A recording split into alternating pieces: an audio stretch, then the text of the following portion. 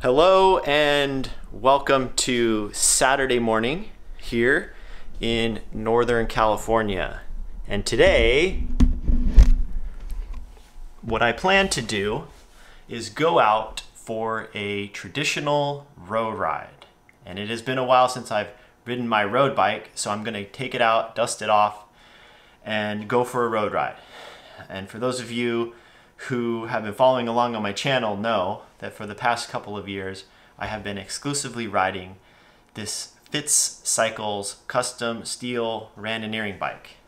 And so it's been, it's been a great bike. I love this bike, but today I just have this craving to want to get on my road bike and just feel what it's like to ride on skinny road tires on a very lightweight bike. Now this bike is really easy to ride. It has, it's a little heavy, but it is really easy to ride. It has the nice wide comfortable tires, it has fenders, it has a front rack for a small handlebar bag, it has a dynamo powered headlight and tail light. So if I get out there and it starts getting late, I never have to worry about lights. It has really nice, um, it has a really nice rear saddlebag on it with a repair kit and patches and tubes. And it even has the pump mounted on the frame. And so for me, it's really easy to just want to grab that bike and go. And in fact, um, I love it so much that I've put quite a few miles on it over the past couple of years. It's coming up on its two year anniversary. And those are the original wheels that are still on it. They have over 12,000 miles on them. And they were the wheels that Omar built for me when we put this bike together at All Rounder Cycles down in Emeryville. And so I can't say enough thanks to Omar and to all the other people who've helped me put this bike together and the companies that supplied the parts for this. And of course, John Fitzgerald for building such an awesome bike for me. So thank you guys so much. All right, so I do have a few things before we head out that I want to update all of you on, those of you who've been watching my channel. Uh, I want to update you on this Wahoo element. Now, this is the Wahoo element Roam. This belongs to Miss Cools. She paid full retail price for this. And as some of you know, you watched a video called my, it was my 400K attempt video. And in that video, I wanted to go out and attempt to do my first solo self-supported 400K ride. And I wanted to do it over the holiday weekend. And that was the last week of December. And during that week, there's an event called, and I'm sure a lot of you know, it's called the Rapha Festive 500. And so my plan was to just go out and do a really fun, long, self-supported solo adventure ride. And I had planned this really cool route. It had a lot of climbing. It was probably a little more difficult than I should have made it. But I, I just wanted to check out these areas and these little towns and roads.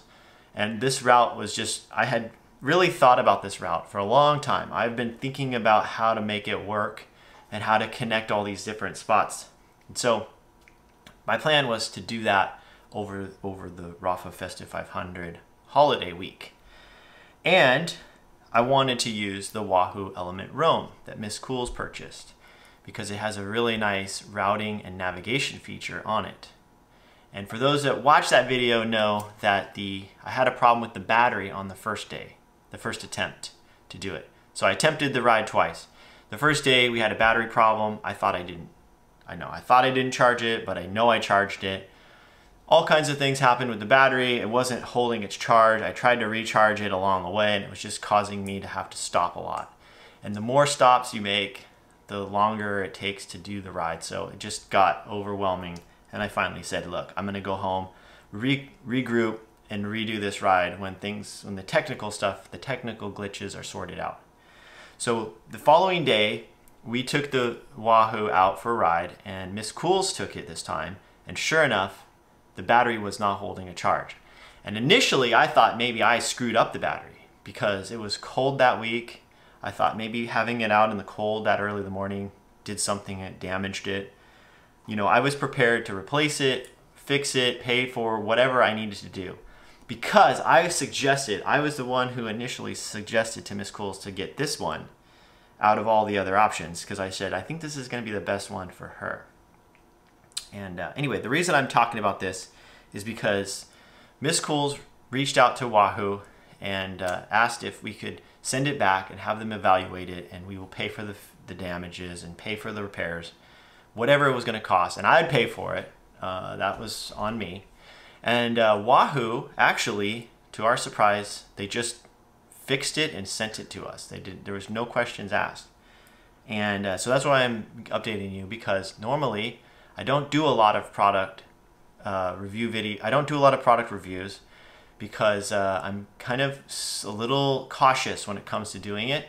But when a company stands behind their product, I'm happy to share that experience because I really appreciate it. And I know that a lot of you guys are watching are trying to decide should I get the Wahoo, the Garmin, the whatever, right? So I want to say thank you to Wahoo. And I do think this is a nice device. I do stand behind that I do think this has the best what, what, what I could find anyway, the best navigation feature. Uh, at least at the time when we purchased it, this one did. And so I'm excited that it's back and it's working. And uh, so I'm to take it again today. I'm to try not to break it. I'm not to drop it. Uh, and I'm to do my best to take good care of it because I know if I break it, Miss Cools will be, you know, disappointed. But I'm to see if I can hook up my heart rate monitor. I know that heart rate monitors can be hooked up to these. So that's what we're gonna do. Try to hook up my heart rate monitor and take out this Wahoo. We're gonna ride my road bike. So that's what we're doing today. Okay, and one more update. I wanna say thank you. I wanna send out a huge thank you to one of the viewers of my channel who went out of their way to make a patch. This is the Rapha Festive 500 patch for 2020.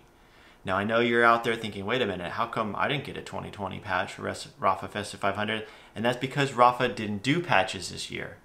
So one of the viewers, and I, am gonna keep, uh, I'm gonna keep it anonymous because I'm not sure if they want me to say who it is, but I'm gonna say thank you. You know who you are.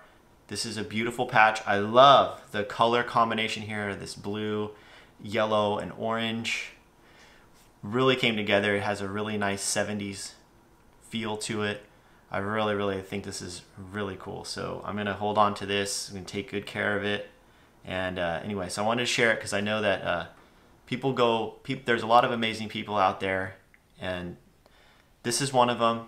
And thank you very much. And I will hold on to this patch for as long as I can. So thank you. All right, without more discussion. Let's get ready and uh, let's go get my road bike ready and uh, let's just go for a nice little road ride today. If you guys are still watching, feel free to join me and uh, yeah, let's go. And I should say Miss Cools is not going to be joining us today. Sorry to let you all down, but she will be back soon. She will be on the next video hopefully, so stay tuned for that. All right, so today we are going to be taking this Seven Cycles bike and I will have to wear my road shoes because this one has road pedals on it. Uh, it has these CO2 cartridges, uh, which, you know, I don't use those. I used to use those a lot more, but now I've kind of gone towards using the pump for the big volume 650B tires on my other bike. But I will bring a CO2 adapter for this in case we get a flat. And I'll also bring a little pump, a little hand pump as well, and some patches. But just to give you a little overview, this bike has a 28C tires. These are the Continental 5000 GPs. And I have put some air in them because it's been a while. I haven't ridden this bike. I'm going to just check it over real quick before I take it out.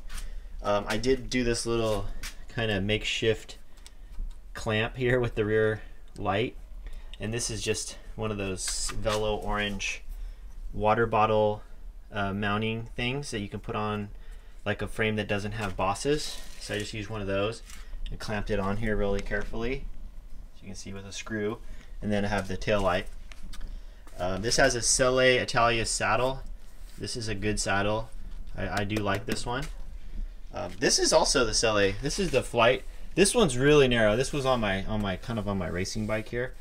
But this saddle is nice too. It's a little narrower. And then this one, it's the same brand. It's got the cutout as well, but it's a little wider. It's a really comfortable saddle. This has a mountain bike. I put a mountain bike stem on it, and this is the uh, Ritchey carbon bars with the back sweep to them. I don't know if you can see that. This has this kind of a sweeping back feature, and it has they're a little bit kind of ovalized, so they have a nice hand feel. But these bars are wide. They're like 42s. And I have since been riding my rando bike with the 38s. And I really like the narrower handlebars now. So that's probably something I'm going to change soon is the handlebars. I want to get narrower bars on this bike. Um, and these are also probably 42s. I, I should measure them. Maybe these are 30. Maybe these are 40s. I know on this Specialized, I was curious. I rode a little bit narrower, but I think these might be 40s and these are 42s. But uh, anyway, so we're gonna ride this bike today. This bike is uh, really nice. Got these Shimano, you know, aluminum wheels, so they're not anything special. But this bike's good. It's a good road bike. It's titanium, and I love it. You're probably wondering what pressure I'm gonna run. So I'm gonna go to 65 on the rear. Okay, and then we're gonna go with uh, 60 on the front. These are 28 C tires, so I try to run them a little lower than I would 23s. Something else I should mention on this bike that's different than my touring bike is the crank set and the gear ratios here are different. This is a compact crank with a 175 millimeter long crank and an 11 to 32 rear cassette. This is 10 speed. It's a rear, the Ultegra rear derailleur, Ultegra crank set, and uh, this is nice. It's typical road gearing. I'd say the 32 in the back might be the only thing that's slightly, you know, not true to road road riding, but close close enough. And for the riding I do around here with all the hills, this does help. And on the front, this is a 34 inner ring and a 50 outer. Uh, so it's definitely a road bike. This works fine on this bike because it's so light that the gearing feels similar to my rando bike with the extra weight. Uh, if that makes any sense. Hope that makes sense.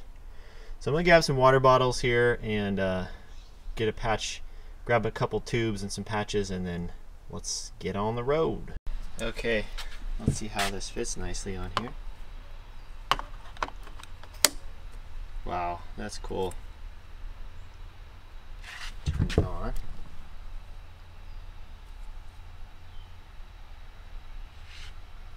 Wow, that fits on there great. Nice and centered. Super aero. Alright, got the water bottles. What else?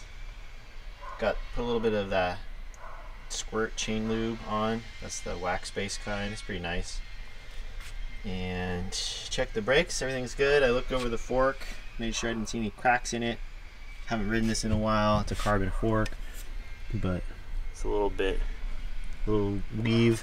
You can kind of see where they messed up the layup of the weave here, but that's probably okay. Uh, so yeah, I'll probably be swapping out this fork soon enough. I've got an ENVE fork to put on here. And yeah, so I think the bike's ready. Grip bar tape's a little messed up. And oh yeah, I've gotta check to see if it'll work with my heart rate monitor. Okay, there's a couple there's a couple of other little interesting things that are different about this bike and uh, one thing is is the saddle height. So on this bike, my fitting when I originally got fit for this bike, we set this at 78.5 centimeters for the saddle to center of crank dimension. I run a little lower on my rando bike. I run it just a millimeter uh, lower because I want a little bit more of a comfortable position on it. But for this bike, I have a longer crank and a higher saddle. So this position is definitely a little more aggressive. Uh, so I just wanted to point that out because I know people have said on comments. They're like, "Oh, you you're taller than me, but your saddle height's the same." So I just wanted to point it out that this is a more aggressive position that I ride on the road bike, and I do a less aggressive position on the rando bike. So there's probably you know there's some arguments there that could could be made whether that's good or bad and I'm not going to say that this is the right way to do it. This is just the way I've been doing it so. All right so we're coming to the top of this first climb. I've been riding now for one hour. Exactly 59.37 and 9.5 miles. My heart rate monitor has finally stabilized. When they first start, they kind of jump around until they settle in. You need to get a little sweat built up, but now it's holding really well. I've been trying to keep it under 150 beats per minute, and this climb is roughly 2,500 feet elevation excuse me. So, took me one hour exactly today, trying to keep my heart rate under 150. Normally, I do this climb, it takes on my other bike, on my touring bike, because it's a little heavier, it usually takes about an hour and five minutes, about at that same effort. So the weight makes so there's the difference right there, I guess. The difference is about five minutes over an hour on a climb. Uh, but on the flats, I would say it's marginally different. That extra weight might slow you down a little, but uh, a lot of people are concerned about the extra weight. And I've found that it just doesn't make that much of a difference I mean, this bike is about 18 pounds right now, so it's considered very light. It's a road bike. Not the lightest road bike, but it's light. And then the touring bike, or the rando bike, is 25 pounds. So, you know, five minutes difference over an hour on a 2,500 foot, or a little over 2,500 foot climb. So it doesn't make that big of a difference. Now, if you're racing, of course, you know, marginal gains and all that stuff. But just to go out and ride and train and have fun, I don't know, it doesn't seem to make a difference to me. So here we are, we're now going to head down. We got about a 1200 or 1500 foot descent coming up. And uh, here you can see the time is one hour and two minutes. The heart rate right now is 113, but I've been trying to keep it under 150 on the climb. We've gone 9.9 uh, miles and average is 9.6 miles per hour. But I don't have the elevation yet on this. I don't know, how to add that to the menu somehow. Uh, we literally just pulled this back out of the box and haven't really messed with it too much.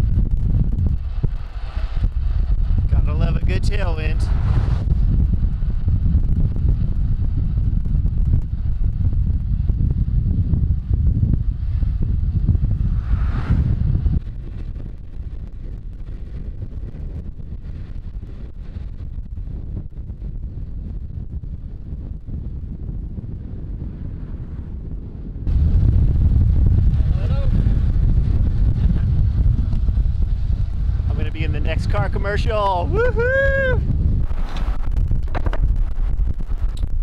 So I decided to stop here for this coffee and uh, I was gonna go a little further. It's such a beautiful day today, but what made me stop is there's a lot of traffic out this late in the day on a Saturday. And I just, I was gonna go south on one down the coast a little further, but there's just a lot of traffic. So I think it's better to just start earlier next time. I screwed around all morning just like getting the bike ready and stuff, so That's right.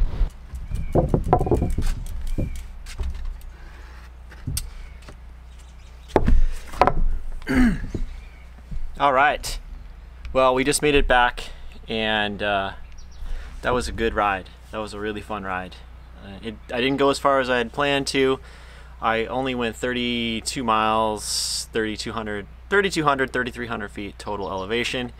And my average speed was, I believe, 14.5 miles an hour. So the reason I mention that is because I think one of the interesting things about riding different bikes is some bikes feel a lot faster, but the actual reality is that it's not as fast as you think. And with this bike, I was figuring I was going a lot faster, but I wasn't. I was only averaging 14.7. I did stop once at the coffee shop and restarted. So there's a little bit of a loss in average speed due to that. But uh, the total ride time was two hours and nine minutes and uh, my average heart rate, and that was the other thing, I, I did try to keep my average heart rate as low as possible. It was 140 beats per minute, so a little higher than I wanted to. I think I was trying to stick to 135 average, so about 5 beats per minute higher. And uh, one thing I will say is, at the top of the climb, I just figured out something when I was riding back here when it comes to climbing and when it comes to bike weight. You know, we put a lot of emphasis on the weight of our bike. And sure, a light bike feels good, it feels faster, it feels easier to go uphill. But what I noticed is, when I got to the top of the climb, and I've done this climb multiple times uh, over the years, I, I usually, on a light bike like this, I usually average about, it takes me usually 55 minutes to get to the end of the road. It's nine miles, and it's about three, it's 2,700 feet of climbing, something like that. So when I ride this bike, I usually do it around 55 minutes. And when I ride my heavier bike, it usually takes me about an hour and four, hour and five minutes. So it's a little bit slower. It's about 10, it's usually, it's about five to 10 minutes slower.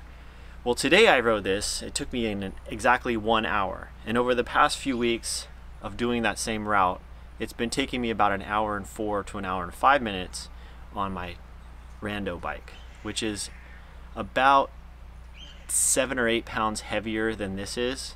It weighs around 25 pounds and this weighs around 17, 18.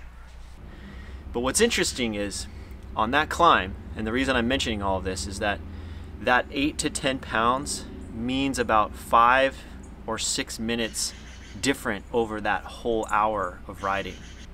Anyway, um, I could talk about this forever. I'm sure so many of you out there have kind of fallen asleep. You've clicked off this video, so uh, thank you to those who are still here. I really appreciate it.